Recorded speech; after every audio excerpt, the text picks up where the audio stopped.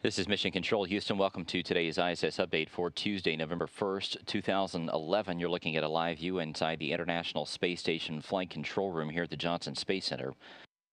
This is the Orbit 2 team. They've been on console since earlier this morning. Today's flight director is Dina Contella. She is sitting there at the middle console. Sitting beside her is Reed Wiseman. He is today's Capcom. The Expedition 29 crew on board the space station consists of Commander Mike Fossum, as well as flight engineer Sergei Volkov, and Satoshi Furukawa. There is the crew. They've been busy today working on a series of experiments and also some maintenance activities. They are also getting ready for the arrival of the Progress 45 cargo craft that will take place early tomorrow morning. Mike Fossum has been busy working on an experiment called Spheres. You see one of the Spheres uh, experiment modules there. It looks like uh, exactly what it sounds like, a large sphere. It's about the size of a bowling ball. There are three of these. They test out autonomous rendezvous and docking maneuvers. So basically, they fly formations uh, by themselves and with one another. Each satellite has its own self contained power, propulsion, computers, and uh, onboard navigation equipment. Uh, something a little bit different today is that uh, Fossum is using a smartphone attached to one of those spheres.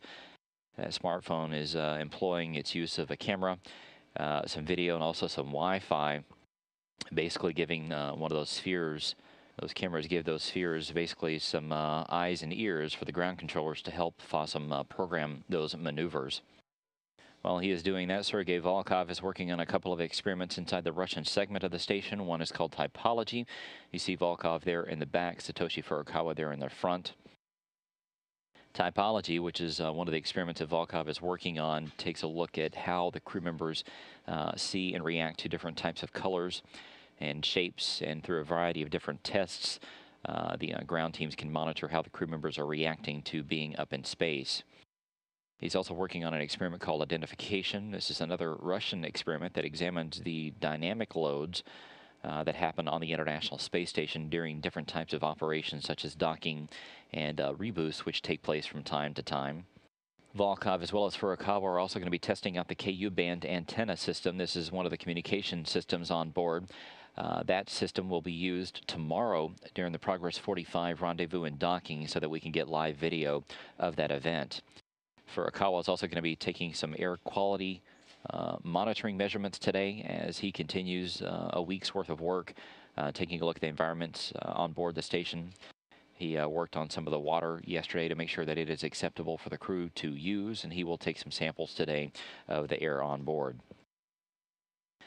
Furukawa also working on a plant experiment today as part of the commercial generic bioprocessing apparatus. This is a large rack that is used to maintain different types of experiments uh, at different temperatures. So he will uh, take care of that. And the crew also has some crew Earth observations today of Egypt, Africa, and Hawaii. As we mentioned, the Progress 45 on its way toward the International Space Station. It launched Sunday morning at 5:11 a.m. Central Time. It will be docking with the International Space Station tomorrow morning at 6:40 a.m. Central Time, 7:40 a.m. Eastern Time. Of course, we will have live coverage here on NASA television beginning at 6:15 a.m. Central Time, 7:15 a.m. Eastern Time.